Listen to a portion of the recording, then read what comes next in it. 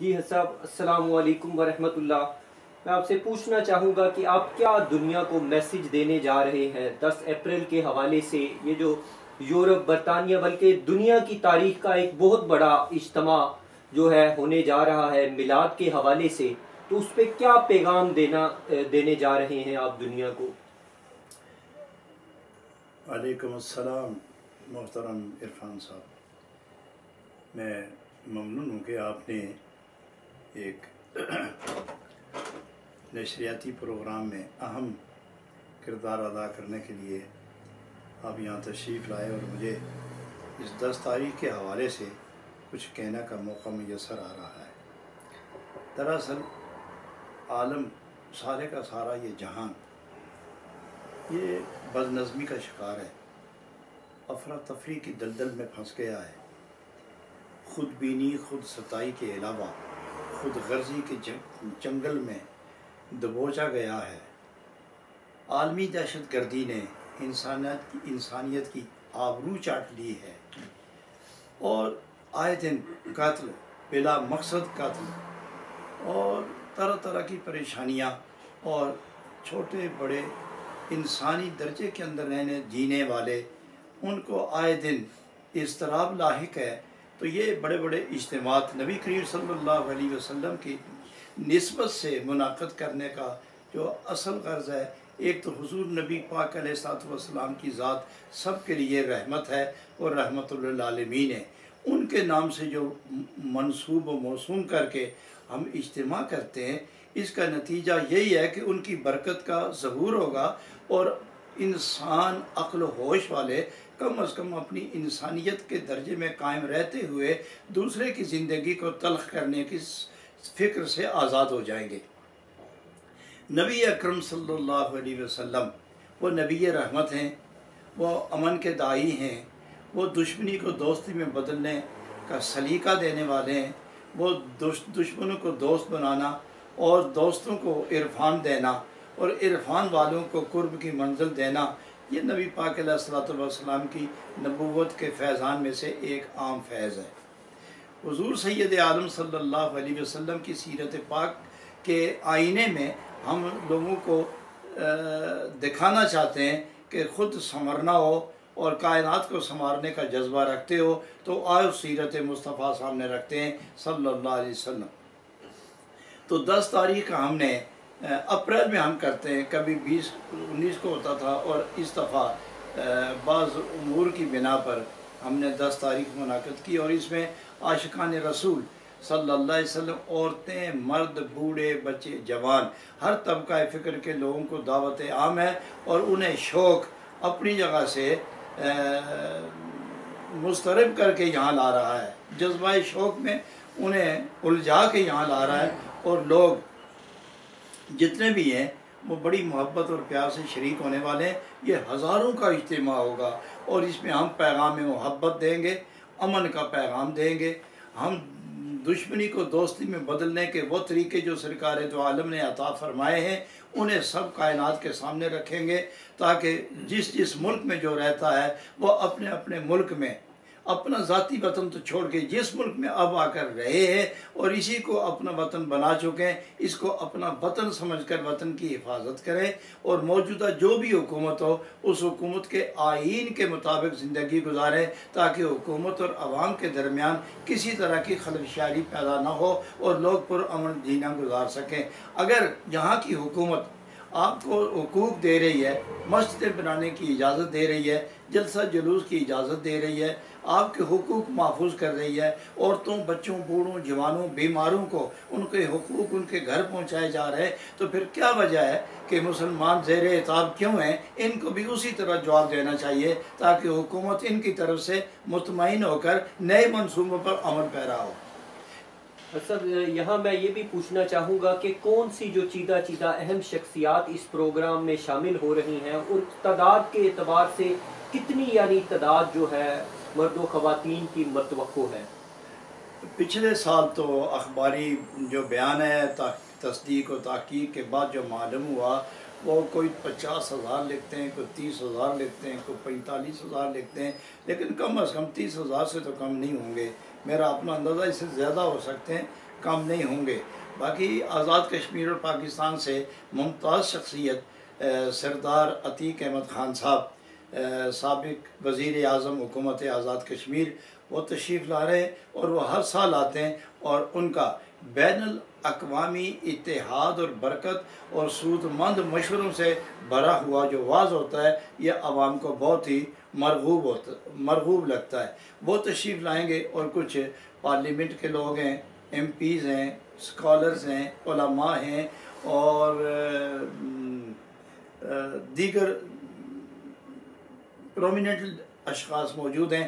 हमारे मोहुद्दीन यूनिवर्सिटी के vice chancellor doctor Ziaul Haq साहब वो तशरीफ़ ले आए हैं। वो पिछले साल भी तशरीफ़ लाए थे। उनका भी बसीरत अफरोज़ खिताब होता है। इस तरह चीदा चीदा लोग बुलाए जा रहे हैं ताकि वो अपने तमाम ज़िंदगी के तजर्बात को लोगों के सामने चंद अल्फाज में पेश करें और लोग दानश्वर हैं, वो हकीकत और हिकमत की बात को जल्दी समझ लेते हैं। दस अप्रैल के हवाले से आप जो आम अवाम नास हैं मर्द ख़वातीन हैं, उनको क्या पैगाम देना चाहेंगे? किस तरह उनको मदू करेंगे इस हवाले से? सब लोगों को जिस तरह दावत शिरकत दी है, वो यही है कि ये मीलाद रसूल सल्लल्लाहु अलैहि वसल्लम की हुजूर, हम इस जश्न को मना रहे हैं ताकि इसमें जो जो मफादात हैं, वो उम्मत मुसलमान और गैर मुस्लिम इन सबको नबी रहमत की नबूवत के फैज़ान पहुँच सकें। हम नौजवानों को मर्द हों या औरतें, लड़कियाँ हों या लड़के, मर्द, औरतें, लड़कियाँ और लड़के, दानश्वर और सुखनवर सुखन शनास, बल्कि सुखन तराश लोग, जितने भी यहाँ मौजूद होंगे, हम इनको एक ही बात कहते हैं कि अगर कामयाब ज़िंदगी गुजारनी है तो वह नबी पाक सीरत के आईने में चमक कर संवर कर लोगों के सामने अमन का पैगाम बन कर आओ ताकि दुनिया में दुनिया अमन का गहवारा बन जाए। इस हवाले से क्या कहना चाहेंगे जो 10 अप्रैल को मिलाद के हवाले से प्रोग्राम होने जा रहा? है बसमीम बरतानिया में और ख़ास तौर पर बरतानिया के सबसे बड़े दूसरे नंबर पर जो शहर है बर्मिगम में इसके पार्क में 10 अप्रैल को जो इतना बड़ा इज्तम हो रहा है, और वो भी हज़रत मोहम्मद रसूलुल्लाह सल्लल्लाहु की सीरत तयबा के हवाले से हो रहा है। ये बहुत बड़ा अजीम कारनामा है। इसको, इसकी जितनी भी दाद दी जाए, वो कम है। क्रेडिट सारा हज़रत कबला शेखुल आलम को जाता है, जिनकी कोशिश से ये प्रोग्राम मुनद किया जा रहा है। इस वक्त यूरोप में ख़ास तौर पर ऐसे इज्तमात का इनका बहुत ज़रूरी है। क्योंकि हम दुनिया को अमन का गहवारा बनाना चाहते हैं। और दुनिया को अगर आपका अमन का गहवारा बनाना है तो रिसालत माप सल्लल्लाहु अलैहि वसल्लम की सीरत तैयबा के अलावा दुनिया में अमन नहीं आ सकता। क्योंकि आप सल्लल्लाहु अलैहि वसल्लम रसूल रहमा भी थे और रसूल सलाम भी थे। आप सरापा रहमत भी थे और आप दुनिया के लिए सरापा पीस और सलामती भी थे। तो अगर हम मुसलमान रसूलुल्लाह सल्लल्लाहु अलैहि वसल्लम की सीरत तैयबा को ऐसे मुल्कों में मनाएँ और उसे प्रैक्टिकली भी शो करें तो यकीनन नॉन मुस्लिम हमसे मुतासर होंगे और वो भी इसी तरह दुनिया में अमन चाहते हैं। तो एक ये अदीम का कारनामा है और उसका ये एक वायद हल है जो हज़रत ने तलाश किया हुआ है। और हमें चाहिए कि हम जोग दर जोग बरतानिया के मुसलमान इधर आएँ और सुने देखें मुकर्रीन क्या कहते हैं। और हमारे रसूलुल्लाह सल्लल्लाहु अलैहि वसल्लम की सीरत तय्यबा के वो कौन से पहलू हैं जिस पर अमल करके हम दुनिया में अमन कायम कर सकते हैं? और बरतानिया सबसे मुनासिब मुल्क है इस मामले में, क्योंकि बरतानिया को पूरी दुनिया में चैम्पियन समझा जाता है डेमोक्रेसी और पीस और अमन और जस्टिस का। तो मैं इस कॉन्फ्रेंस को एक बहुत बड़ी कॉन्फ्रेंस और बहुत बड़ा इनकलाब समझता हूँ और मैं लोगों से अपील करता हूँ कि जोक दर जोक आकर इस कॉन्फ्रेंस में शिरकत फरमाएँ ये कार्य सवाब भी है और इससे दुनिया में हम अमन भी कायम कर सकते हैं। मज़ नाजरीन वालेकुम वरहमतुल्लाहि वबरकातुहू। दस अप्रैल, बरोज़ इतवार, दिन के तकरीबन ग्यारह बजे, एक अजीम शान हकीकतमिसाल और एक अहद साज, तारीख साज, बरतानिया और यूरोप का एक बहुत बड़ा इज्तम और जुलूस का अहतमाम हजूर शेख़ुल आलम दामद बरक़ातुहुल कुर्सिया ने फरमाया और उन्हीं की सदारत में कराम मशाइ मुख्तलिफ़ मकातब फ़िक्र से ताल्लुक़ रखने वाले अहल इल्म, सियासी जुमा मजहबी जुमा कायदीन, मुख्तलिफ़ जमातों के जुमा उसमें शरीक होंगे और आवाम खवास इसमें शरीक होंगे। हज़ारों की तादाद में ये इज्तम होता है और इस अजीम शान प्रोग्राम में आप तमाम अहबाब को शिरकत की दावत दी जाती है और इस इज्तम का जो बुनियादी मकसद है, वो अकवाम आलम पर ये वाज करना मकसूद है कि इस्लाम एक पुरान मज़हब है, इस्लाम एक खूबसूरत मज़हब है, इस्लाम की तालीमत बड़ी की तालीमत हैं, इस्लाम की तालीमत मर्द वन के लिए हैं, यकसा तालीमत मौजूद हैं, मसावत का दर्स देता है, मसावत की तालीम देता है। अमन की बात करता है, अमली तौर पर अमन का ये मज़हब है, ये तमाम चीज़ें उस दिन अकवा आलम पर मुख्तलफ़ टी वी के ज़रिए से अकवा आलम दिया जाएगा। ये तमाम मोमिन मोमिनत से गुजारिश है कि वो अपना प्रोग्राम समझ कर इस प्रोग्राम में ज़रूर शिरकत फरमाएँ, अपनी गुलामाना नस्बतों के इजहार का बड़ा खूबसूरत दिन है और नबी पाक अलैहि वसल्लम की खुशनुदी और अल्लाह की खुशनुदी हासिल करने के लिए ज़रूर इसमें शिरकत फरमाएँ। दस अप्रैल को आसम पार्क बर्मिंगम में जो आलमी मिलाद कॉन्फ्रेंस हो रही है, ये आम कॉन्फ्रेंस की तरह नहीं है, बल्कि मुमताज़ और मुनफरद है। क्योंकि इसमें तमाम मज़ाहब के लोग होंगे और तमाम मुसलमानों की दीनी और सियासी जमातें होंगी। समाजी शख्सियात भी इसमें शामिल होंगी और यहाँ ब्रिटिश पार्लियामेंट के लोग भी आया करते हैं वो भी इस दफ़ा आएँगे। तो इसके कई फ़ायदे हैं। इसका एक बड़ा फ़ायदा ये है कि इस्लाम पर होने वाले एतराज़ात को एक अमली सूरत में जवाब दिया जाएगा और दुनिया को पता चलेगा कि इस्लाम वो नहीं है जो आज प्रोपेगंडा किया जा रहा है कि इस्लाम शिद्दत और दहशत गर्दी का दीन है, बल्कि इस्लाम सरापा मोहब्बत, अमन और रहमत और आफत का दीन है। और इसी तरह से यहाँ बहुत से लोगों को दीन के बारे में, दीन इस्लाम के बारे में कोई इल्म नहीं होता है। और वो मैज से हवाई बात कर लेते हैं। और वजह से दीन इस्लाम से दूर होते हैं। तो इस इज्तम से ये फ़ायदा होगा कि दुनिया दीन को समझने के लिए मुतवजह होगी और कुरान उस साहिब कुरान के करीब आएँगे।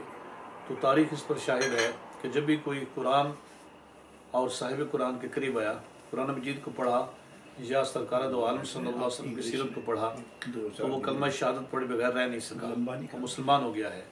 तो ये इन इस कॉन्फ्रेंस का ये फ़ायदा भी होगा कि बहुत दूर तक इस्लाम का पैगाम जाएगा और लोगों को इस्लाम समझने और इस्लाम कबूल करने का मौका मिलेगा। दस अप्रैल को शेखुलम अहमद बरकतमलिया जिस सदा को लेके आगे बढ़ रहे हैं उसके इजहार का वक्त है।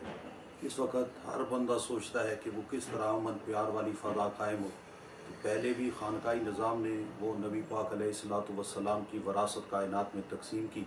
अब वही मोहब्बत, प्यार, इश्क, अदब, आदाब वाली वरासत तकसीम की करने का अहतमाम है और 10 अप्रैल इज़ार मोहब्बत का खूबसूरत मौका फराम किया जा रहा है। तो मेरी गुजारिश इसी शान से है कि वो वक्त है कि हम अपना ईमानी फरीज़ा अदा करें और आवाम को इस तरफ़ मुतवजह करें और ज़्यादा से ज़्यादा आवाम को लाएँ।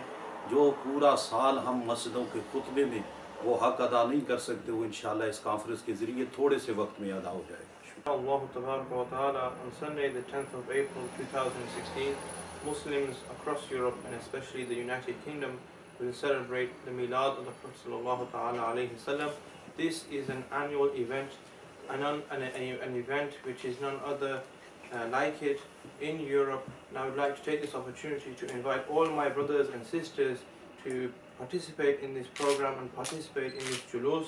Inshallah, those who uh, successfully participate in this uh, program will benefit immensely in this world and in the hereafter.